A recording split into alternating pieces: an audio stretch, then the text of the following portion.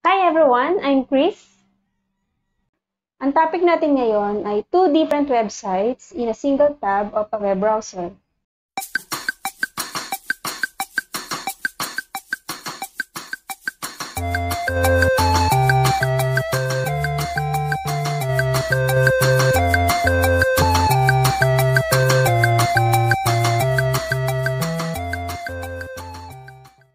Una, punta kayo dito sa site na to.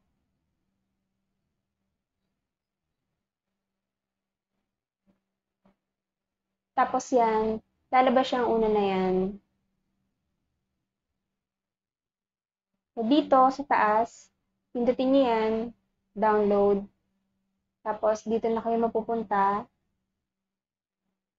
So, pili lang kayo dyan kung saan nyo siya gustong i-download.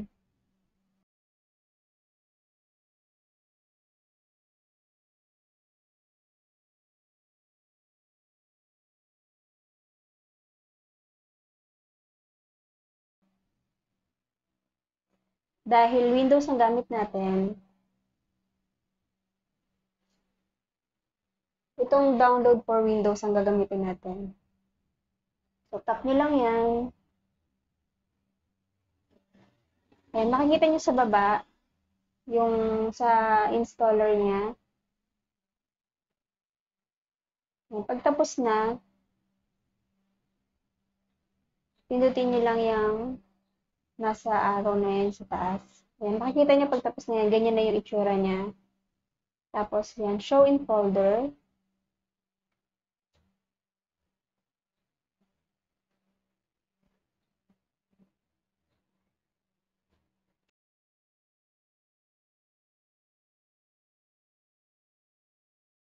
So yan, makikita nyo na ito. Yan. Tap nyo lang yan, double click nyo, tapos run, tapos accept and continue. Siyempre, dapat basahin nyo muna yan para aware din kayo. Tapos ito na yung lalabas. Ayan, medyo may katagalan to ha. Pina-explain ko lang siya para uh, makita ninyo.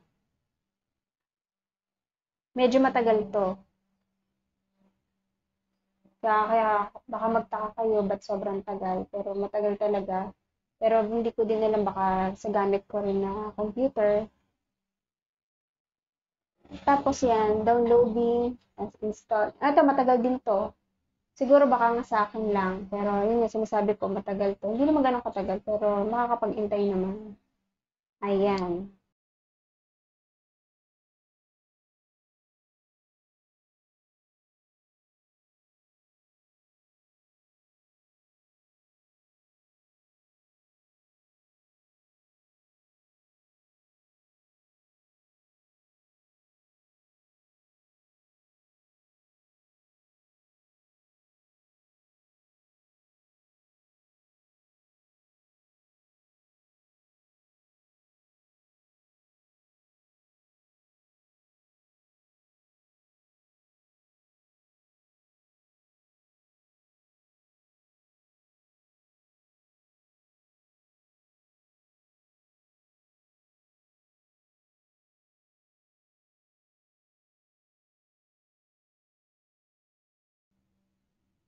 Yan, nakikita niyo ito sa taas.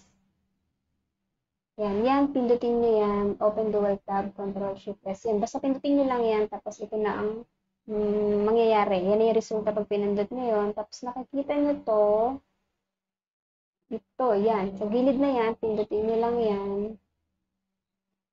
Pindutin niyo yung uh, kung ano yung tab na nasa na active, yun yung papa, mapap, magiging YouTube ba? Kasi doon tayo nagpunta ngayon. Dahil ito yung una, ayan, naging YouTube na yung site niya, diba? Tapos dito, ayan, punta tayo sa Google Chrome.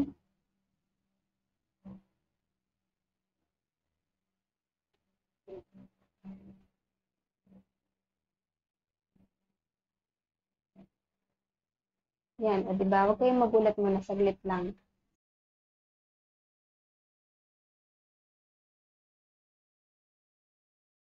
Yan, nakikita niyo yan, di ba? Korean. Yan yung pipindutin ninyo para ma-translate siya sa English. So, nandyan lang yan sa taas. Ito yun, no? Hanapin nyo lang siya. Hindi nyo na kailangang mag-login. Pero dyan nga, ayan nga, pinindot nyo yun, ito na yung lalabas. Pinindot ko lang ulit. Ayan. Pero nakaset up ito sa English.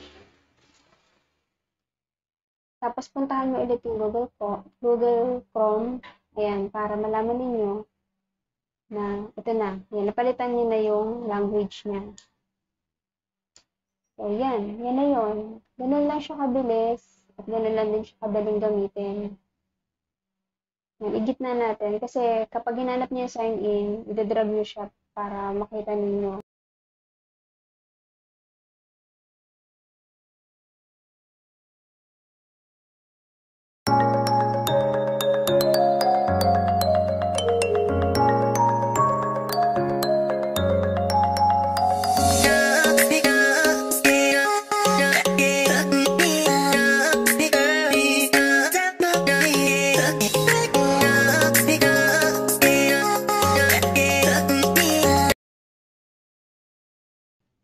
So, ginawa ko tong tutorial na to para doon sa mga naghahanap ng ganitong klaseng tutorial at sana magamit nyo to at nakatulong din sa inyo. So, kung sa tingin niyo okay tong tutorial ko at nakatulong sa inyo, bigyan niyo ako ng like. Um, maraming salamat sa panonood ninyo. Ang tutorial ko ngayon, um, ano nga ba?